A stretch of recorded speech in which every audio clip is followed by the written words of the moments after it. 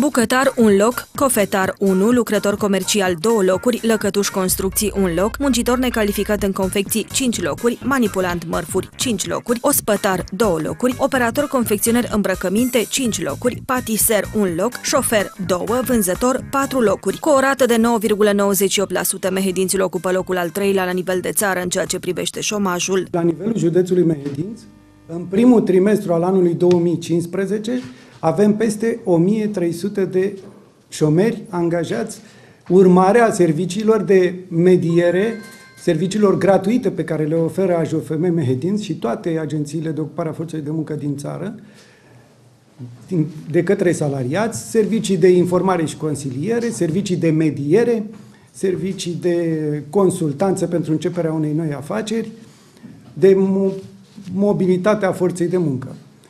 Peste 80% din șomerii angajați sunt angajați ca urmare a măsurilor de mediere a muncii. Cei mai mulți șomeri locuiesc în mediul rural. Este vorba despre mai bine de 80% din numărul persoanelor fără loc de muncă. Periodica JOFM organizează cursuri de reconversie profesională. În această perioadă au loc specializări în meseriile de zidar, ospătar, lucrător în comerț, brutar și manicuristă.